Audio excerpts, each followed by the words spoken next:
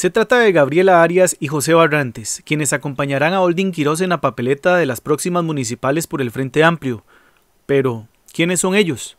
Eh, mi nombre es Gabriela Arias Valverde, vivo en Barrio Boston, pero actualmente laboro para el Ministerio de Educación Pública en las escuelas del Brujo y Llano, Circuito 02, en Río Nuevo de Pérez Celedón. 21 años ya de laborar en el MEP, además de, de estar en sindicatos y de de siempre estar apoyando las causas y las luchas sociales. Esa es Gabriela. Eh, única hija, hermano mayor, hermano menor, padre pensionado de la caja, madre ama de casa y deseosa de ayudar, de aprender, de conocer y de, de, entregar un poco de lo mucho que me ha dado el cantón y sé que se puede hacer. Bueno, José Orrantes Acosta para servirles. Tengo 51 años, este año si Dios me da vida cumplo 52 Vivo en la preciosa comunidad de Miravalles, de San Isidro. Soy de profesión ingeniero topógrafo. Soy egresado de la licenciatura en Ingeniería Civil. También soy licenciado en Ciencias de la Educación, con énfasis en la enseñanza de la ingeniería. Me dedico a la docencia en el Colegio Técnico General, Técnico Profesional de General Viejo y también soy consultor privado en, en ingeniería y también perito externo para el Poder Judicial de Costa Rica. Varias son las motivaciones que tienen los candidatos para ser parte de la política.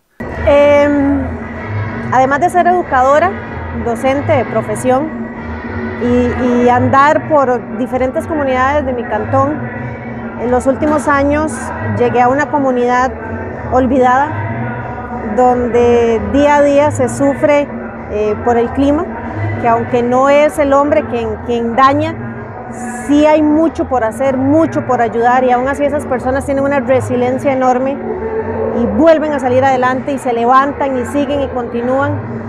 Y ver a esas personas, ver lo que hacen día a día, ver los sacrificios para poder sacar su ganado, para poder sacar su poquito de maíz, su cultivo, me impulsó. Eh, además de toda la vida haber sido sindicalista en, en el Sindicato de Educadores Costarricenses con el Ministerio de Educación, entonces, y de conocer a Holding y de tener en coincidencia muchos de los principios del Frente Amplio, como la defensa de, de, del Estado Social de Derecho, de la Caja Costarricense, del Magisterio. Entonces, eso me motivó. En realidad, yo siempre he sido muy aparte del, tema político. Siempre he votado, pero no es algo así como que me haya gustado, pero es que es una necesidad. No es solo que uno tenga buenas intenciones. Con buenas intenciones hemos presentado proyectos, nos hemos quejado, hemos hecho muchas cosas y no hemos tenido respuestas adecuadas. Se trata de, ser parte, por consiguiente, no es solo ser un agente externo, un observador o alguien que, que habla, hay que aportar y para aportar es importante estar adentro. Un problema es que para estar adentro, sinceramente, la democracia en Costa Rica está secuestrada por los partidos políticos tradicionales. Si usted no es miembro de cierto apellido, de cierta familia, con ciertos recursos, usted no puede optar por ningún puesto político dentro de los partidos políticos tradicionales. Y aquí, sin, sin pedirlo, se presentó esta oportunidad en el Frente Amplio y, y el deseo de uno es servir, es poder aportar, es poner su granito de arena o un par de granitos y dado que todavía la democracia es rescatable con estos partidos pequeños, digámoslo así, que agrupan minorías, pues gozoso acepté la, la propuesta que me hicieron. Y...